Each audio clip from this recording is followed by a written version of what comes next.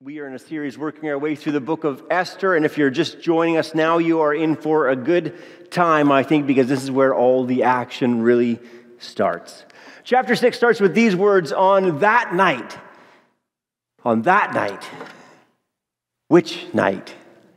That's the question, isn't it? On that night, on that night after the feast that Esther had had for uh, the king and for Haman, on that night, when we thought that she was going to plead for the lives of the Jews but didn't. On that night when Haman left the palace, so thrilled with excitement and joy that he'd been honored to have this feast with the king and the queen, on that night when he left with joy but then saw Mordecai, his arch enemy, and just blew his top, he was so enraged. On that night when he gathered all his friends and his wife together and said, What are we going to do to get rid of this guy, Mordecai, on that night? When he bragged about how he had everything in the world going for him, but none of it mattered because he hated Mordecai so much. On that night, when his friends told him, This is what you do you build a gallows 75 feet high and you kill him tonight, and then go to breakfast tomorrow with the king and queen. On that night, when he had those gallows built, on that night, that's the night we're talking about. On that night, it says in chapter 6, the king could not sleep. That's the night. That's the night. The king could not sleep. He's tossing and turning. He is checking his Facebook account. He's drinking warm milk. He's counting sheep. He's doing his taxes because he just cannot sleep at all. On that night, the king couldn't sleep. It says this So he gave orders to bring the book of memorable deeds, the Chronicles, and they were read before the king. This wasn't just any book, this was a special book all about the king.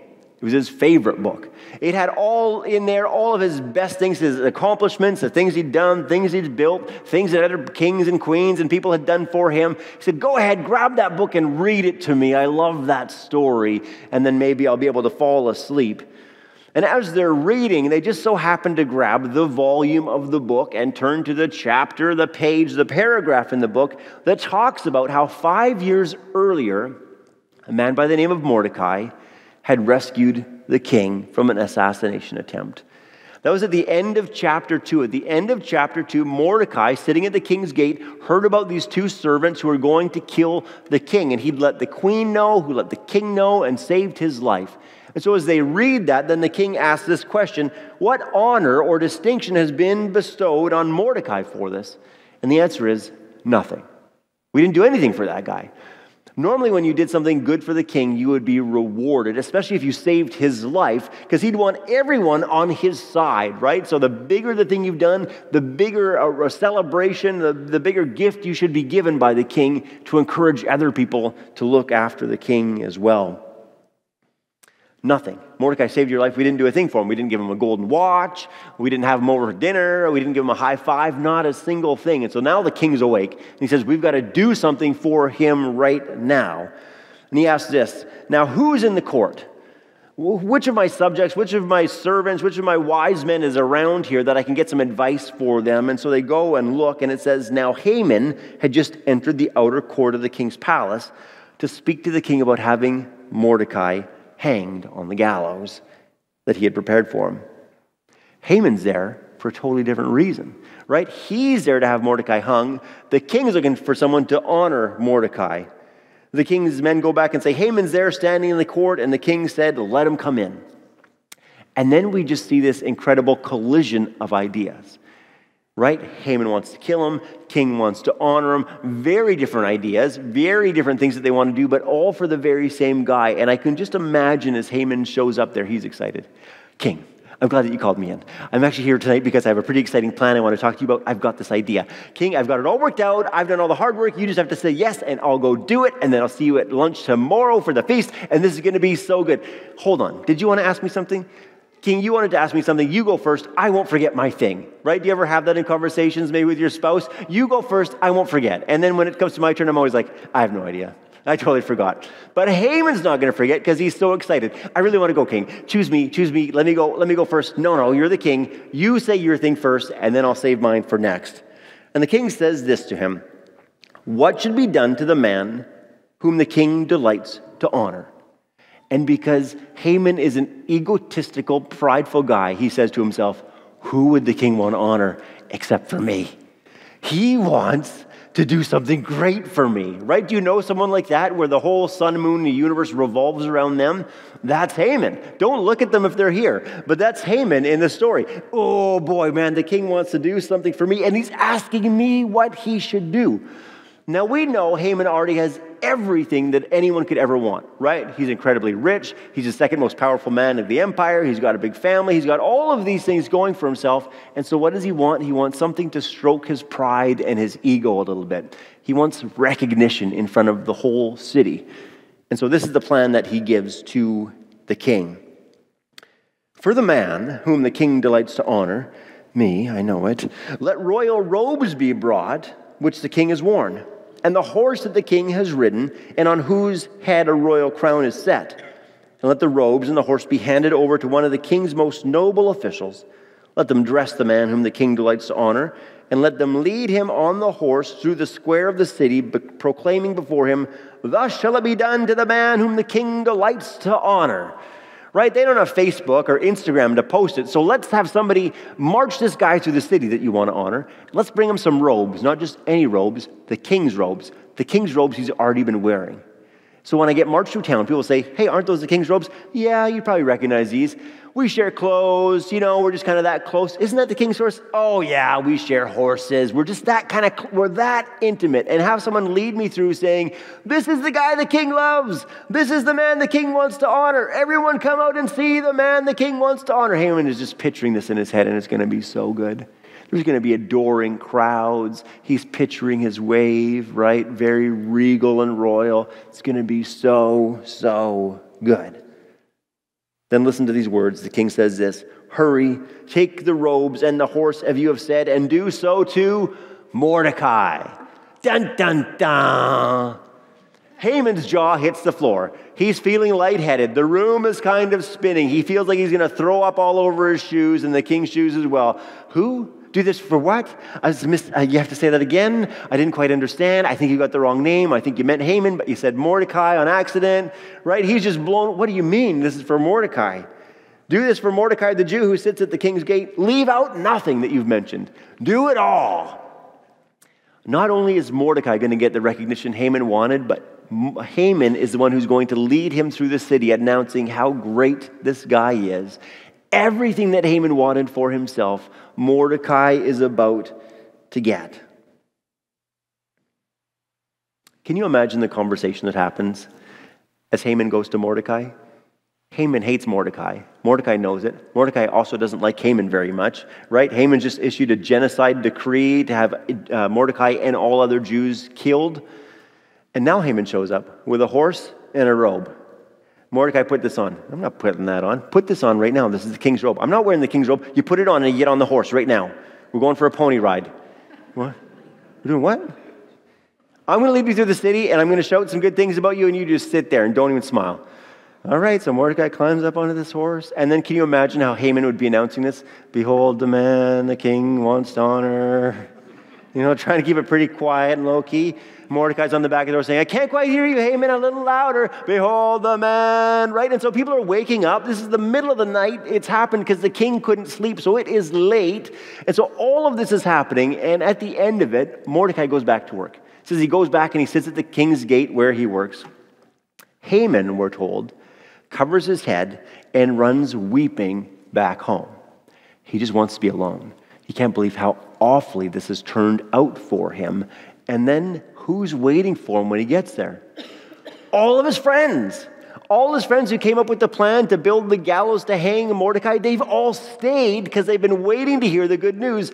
Haman, how did it go with the king? He comes in, face all red and blotchy. He's been crying all night. His hood is on, and he can't even talk probably for the first little bit when he gets there. Then he tells him everything that's happened. Everything's gone wrong. Are you going to hang him? I didn't even get to tell him about the hanging. He made me march him to the city on a horse shouting about how great he is. What? So, as they talk about this, remember the first time he talked to his friends, they gave him really bad advice? This time, they just make a really clear and accurate statement, and I want to read it for you. They say this If Mordecai, before whom you have begun to fall, is of the Jewish people, you will not overcome him, but surely you will fall before him. Haman, this is not good. This is not good at all. You didn't tell us before that Mordecai was a Jew. You're trying to kill all the Jews, and now the king has celebrated him and honored him. Haman, this is not looking good at all. Mm-mm, not good for you, buddy. Remember, in you maybe don't remember the reference. It's Pro, uh, Proverbs 16, 18, but you'll remember the statement Pride comes before the fall. Pride comes before the fall, and no one's prouder than Haman. And his fall is going to be bigger and harder than anyone else. It's still that night. That night that we started with, that night where all those other things have happened. And now his, he and his friends have been oblivious to this, but the night is over. The sun is up, and all of a sudden, there's a knock at the door, and it's the king's servant saying, Come on, Haman, it's time to go for the feast. Here he is, all blotchy and covered in tears and everything else. And he's like, Oh my goodness. Now he's got to go. He's got to go celebrate with the king and the queen for one more feast that night. Ever had a night like that? Ever had a night like this where in Esther, everything's been going so slowly? we are about eight years into the book of Esther, and all of a sudden, all these things start to happen all at once. All these dominoes start to fall, getting faster and faster as they do. I think what we're seeing here is a miracle. And we get confused about miracles. We think that miracles have to be plagues of locusts dropping from the sky, or seas being parted uh, right in front of us, or dead people coming up from the grave. And we miss that there are also quiet, simple whispers of miracles that happen in our everyday lives. Yeah, this shouldn't really be a miracle, should it? I mean, no one died, no one's raised from the dead. All these things come together, they're all orchestrated together perfectly. So, right at the exact right time, all these things happen. Let me, we would say like this what a crazy coincidence. What a fluke. Can you believe that happened? The Bible says this don't rob God. Don't say it's a coincidence or a fluke. God did it. Let me read just a few of these things for you, or uh, remind you of a few of these things. Like, why couldn't the king sleep that night? And why did the servant grab that book and read that sentence about Mordecai? And why did the king sit up and say, We got to do something for Mordecai right now? And why did Haman run right that night to the king to say, We have to hang Mordecai? He was going to see him the very next morning. Why didn't he wait? And why did all of these things happen all at once? Because God was in control. One of the things I love about the book of Esther is we've talked about this before, God's not mentioned, but here you see him so clearly at work. Whose plan is this? It's not Esther's plan. It's not Mordecai's plan. Mordecai has not done something to turn these events around. It's certainly not Haman's plan, and it's not the king. The king is sleeping like a baby right now, and he's dreaming about drinking wine and eating KFC in the morning. This isn't any of their plan or doing. This is God at work. If you look at your own lives, I hope you can look back and see the same thing that God's been at work. And maybe it's been quiet, silent whispers in the middle of the night, but God has certainly been doing things in your life as well. It's interesting to think about this story because it seems like everything was going perfectly for Haman. Haman had everything, everything was going according to his plan, but the key word there is was. It all was going perfectly. But now that's all changing. Same like we could look at uh, the Jews and Mordecai and say it looked like everything was going so poorly for them. Everything was unfolding just in the worst way possible, but the same is true. It was. But God has turned that around for Mordecai as well. We're not quite there yet, but in chapter 7, we're going to see what has happened. Everything hinges on this story. And in chapter 7, everything gets reversed. Everything we thought would happen doesn't happen. It all happens in a different way, it all changes. Everything is spun around. It reminds me of this passage from Proverbs 16. Earlier, I read from Proverbs, uh, pride comes before the fall. Just a few verses before that, it says this The heart of a man plans his way, but the Lord establishes his steps. We come up with all these plans. I mean, some of you have plans for this afternoon, some of you have plans for the next week, some of you have got like a five year, 10 year plan of all these things that you're going to do, and that's great. But if our plans aren't God's plan, then they will not happen. They won't unfold the way that we were expecting them to, because God is the one who establishes our steps. God says, yes, it's going to go this way, or no, it won't. How many of you have made a plan and then it didn't turn out the way you thought it would? All of us. We make up our plans, but God establishes our steps. If you're being faithful and you're trusting in God and things are difficult right now, if you're struggling, if you're wrestling, then I want you to know that chapter 7 is coming. Chapter 7, where everything gets turned around, is coming, where all those things that have been so difficult, so challenging, so hard, a change is coming to that situation, just like it's coming for Mordecai. In Romans 8, it says this We know that in all things God works for the good of those who love him, who've been called according to his purpose. I love that verse because I need that reminder sometimes, and I think you do too, that all things, all things, all of the things, all the hard things, all the difficult things, all the good things, all the challenging things, all the obstacles, all the things that kept you up at night crying, all the things you were worrying about. God works all things to the good of those who love him. He even works uh, Haman's plan to kill Mordecai to the good of those who love him. Maybe that's you. Maybe you've been struggling. Maybe you've been wrestling. Maybe bad things are happening to you. That doesn't mean those situations are good. It means God is going to make something good come out of it. You've been getting beat up or lied to or stolen from or whatever it is. That situation is not good. But God will somehow work good through that for you. This entire story pivots, interestingly enough, on a sleepless night for the king. If it weren't for that, it seems like the outcome would be very bad for Mordecai and all the Jews. But everything hinges on and pivots on this one sleepless night. The same is true for you and I. Everything for us hinges on and pivots on a sleepless night in a little town of Bethlehem as the Savior of the world is born. And everything starts to change because of that. And it takes a long time. It takes a long time. People have been waiting thousands of years for this promised Savior to come. It takes a long time as they wait. And it takes a long time as Jesus is born. And then not much seems to happen. First of all, hardly anyone knows about it, just these shepherds and angels uh, that hear the story and announce it to the people around them. But it's very quiet. It's almost this whisper as the Savior arrives. And as you watch the life of Jesus, it's kind of just going along. He's preaching, he's teaching, he's healing, he's doing miracles, he's doing all these things, but there's, there's action there, but it speeds up as we come to the Holy Week. That last Holy Week, as Jesus celebrates the Lord's Supper, as he gets betrayed, as he gets arrested, as he gets beaten, as he gets tried, and as he gets crucified. As we look at all those things, we'd look and say, oh no, something went wrong. It all goes bad. It's all falling apart, but we don't see that God works all things to the good even the death of his son on the cross, even the crucifixion of Jesus is worked for our good. And sometimes, if you give up too soon, if you walk away too soon, you'd miss something so big, like three days later, Jesus rises from the grave, the victor, the champion, the one and only Savior of the world. Church, I don't know where you're at in that story, that progression. I don't know if you can see yet how God is working all things to the good. If you can't see it yet, know that it is still coming because God works all things to the good. Jesus is our hope, He's our chance, He's our pivot point, He's our hinge. In our stories, everything should be going badly in our stories, there should be no hope. In our stories, we're cut off from God if it isn't for Jesus. In our stories, all that we've earned, all that we deserve, we confess this often in the first service, is judgment from God, is uh, eternal separation and damnation from God. But everything hinges and pivots on Jesus, and because he lived and died and rose again for us, forgiveness is ours, and eternal life is ours, and the victory is ours. Church, I hope that you can look back at your life and see a series of miracles.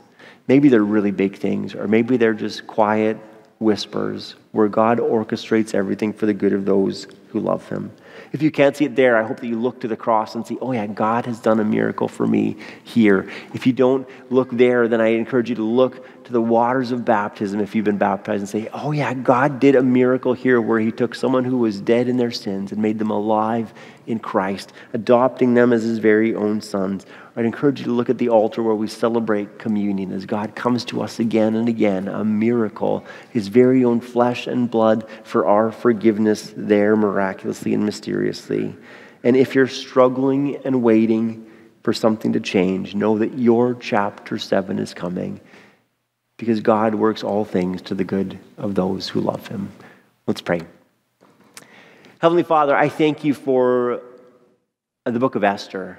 And I thank you that we can see in it now so clearly that you are orchestrating things for the good of those who love you.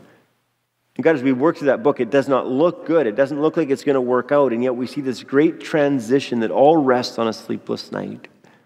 God, I pray for each one of us here, whatever we might be struggling with, the challenge, the obstacle that we're facing. God, I pray that we'd be able to look and see how you're working behind the scenes. And maybe right now that's hard to see. And so I pray that you'd help us to look back at your faithfulness to us in the past at all the things that you've done for us, those things we've just talked about uh, the cross and the empty tomb, the waters of baptism, the Lord's Supper. That we see things in our very own unique and specific lives, how you've uh, influenced decisions or directed our steps. And God, I just pray that we'd see more and more clearly you at work in the day to day. And God, as we do struggle, I pray that you'd bring us comfort and hope and peace knowing that you're the God who loves us, who works all things to the good. Lord, we pray for those people who do not know you, who are far from you. Maybe they have known you, but they've walked away. God, we pray that you would call them back. For those people who have maybe never even heard your name before or known who you are, God, I pray that we would go out with words of life and truth and grace to them and that you'd make a change in their stories as well. God, we love you. We thank you for all the things that you have done for us. We thank you for your incredible grace to us in Jesus. We thank you for your ongoing work in us through your word and the Holy Spirit. We ask you to help us to be faithful to you and that we'd keep holding out hope as we trust in you for the next chapter, knowing that you work all things to the good. For everything else on our hearts and minds, we commit all those things, trusting in your Son, Jesus, the one and only Savior of the world. Amen. Receive a blessing from the Lord. The Lord bless you and keep you. Lord, make his face shine on you and be gracious to you. Lord, look upon you with favor and give you his peace. Amen.